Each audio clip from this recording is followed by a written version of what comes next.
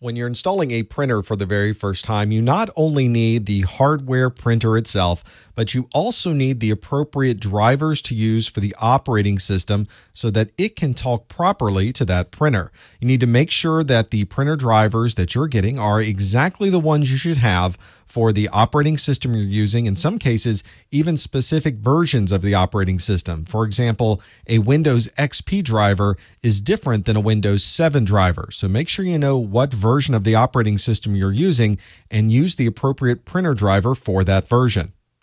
You also have to make sure you pick exactly the right driver for the printer that you're installing. That's because the printer driver has a lot of very important information in there. It defines what type of language the printer is using. Maybe it's using PCL, maybe it's using PostScript, maybe it's using something different. The printer driver determines how your computer will talk to that printer. It also knows the type of paper trays that are expected on that printer type. If there are different colors that printer can support, perhaps any fonts that might already be enabled inside side of the printer. that would certainly enhance any printouts that you're doing and anything else that the printer uses to be able to finally give you an output from that printing device. Here's a good example of why choosing the exact printer driver is so important. Let's look at these two printers. This is one that is an Epson Action Laser 1000. This other one also a LaserJet, an HP LaserJet 8150. These are two different printers made by two different manufacturers. And if we look at the Epson Action Laser, we can see there is an upper paper tray, there is a manual paper feed tray, there is a lower paper tray, and some font cartridge options which have nothing installed in them. Notice the differences on the HP side. The Hewlett Packard printer has many different paper trays associated with it. There's even an envelope feeder along with the manual feed tray. So when you send, for instance, information to print out on a letter and you send that to the Epson Action Laser, you have the choice of an upper, a manual, and a lower.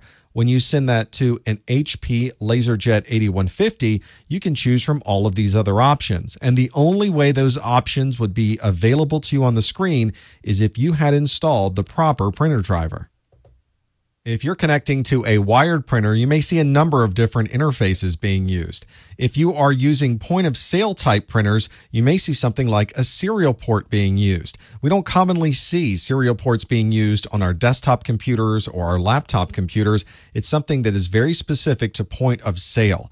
On our desktop systems, commonly in the past, we have used something like a parallel connection with this Centronics connector on the back of the printer. And usually there is a parallel 25 pin connection that is plugging into the computer. These days, it's more of a legacy connection. They're very big 25 pin connectors, and usually you don't see those on laptop computers where the amount of real estate on that particular device is at such a premium. Commonly these days, we're seeing something like USB. USB is turned into this very common interface that we would use for almost everything. We use it for our keyboards, we use it for a mouse. We can also, of course, use it for printers as well. And if you're plugging in a modern wired printer to your computer, it's probably going to use USB. Another way to connect a printer using a wire is to plug in an Ethernet connection. You can get something like a print server like this one that has an Ethernet connection on one end, so you can plug into the network and have everyone access the printer that you then plug in onto this USB connection. So this allows you to connect the computer as you normally would through a USB, but instead of plugging that USB connection into your computer, you're plugging it into this print server that everyone on the network would have access to. Just as there are many interfaces used for printing on a wired computer, there's also many ways to print wirelessly. One legacy method of wireless printing is infrared. This is commonly seen as IRDA, which stands for the Infrared Data Association. This used a line of sight between your mobile device or your computer to the printer itself. And although it was used for a short period of time, the infrared had too many limitations associated with it, drivers that had to be loaded, printers that needed to support it, and eventually it was a technology that was phased out. If you have a mobile device that can communicate via Bluetooth, you might want to look at connecting to a Bluetooth enabled printer. A Bluetooth printer is using this personal area network. It's not a huge network. Once you get a number of yards away, the network is not accessible any longer. Those two devices can't communicate to each other. But generally, when you're printing to a printer that might be in your office, it's in a relatively short distance from you. That way, you don't have to have any wires going to the printer. You can be relatively mobile, and the speed and connectivity connectivity to the printer is somewhere between 1 to 3 megabits per second, so you still get very good throughput even though you're using a wireless network. But perhaps the most common wireless printing technology available today is 802.11. That is the standard that we tend to use for everything, for our mobile devices, for our laptop machines, and also for our printers. Our printers might have an antenna right on the side of them that's able to communicate via standard 802.11a, b, g, or n. And that way we're able to use standards that we already have in our laptops and our desktops to be able to naturally communicate directly to the printer without having any type of wire or any type of print server in between.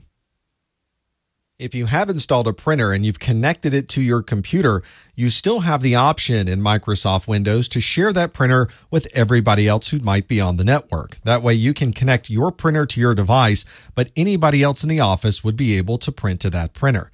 In Windows XP, you would do this through the control panel. You would choose printers and faxes. You would right click the printer, choose the properties for the printer, and inside of that will be a sharing tab that you can enable the sharing capabilities for that printer. Here's our Windows XP desktop. To find that particular setting, you can go either to the control panel and then go to all of your printers and faxes, or you can simply start at the start menu and choose printers and faxes and go to the same place. If I right mouse click the printer, you will see the properties option at the very bottom. And inside that properties option is the sharing tab. And this is what allows you to share that printer. You can give that printer a name and then everyone on the network would be able to see that printer and be able to use it just by browsing through it on the network and connecting to it through a network link. In Windows 7, it's a similar configuration, almost in the same exact place. It's under Control Panel, Devices and Printers. You would right click the printer and choose Printer Properties, and that's where you will find the Sharing tab. Let's see how this looks. We'll start at the Start menu. There is a control panel. Notice Devices and Printers is also in that Start menu, but to show you everything, we'll go into the control panel under Devices and Printers, one extra step. Under devices and printers, you'll see everything, including all of the printers that you have installed.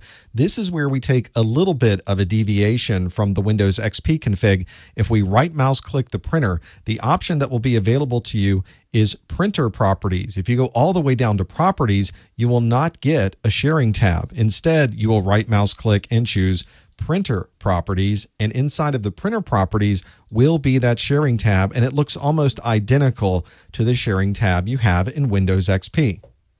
It's very common in large environments for many different kinds of operating systems to need access to different resources. And one of the things that can make things a little bit easier for everyone else in the office is that if you load the printer drivers for your printer right onto your computer for all of those different operating systems. That way, when a 64 bit operating system connects, they'll be able to download the drivers directly from your computer rather than having to go out to a Windows site or the manufacturer's site to find out where those drivers might be.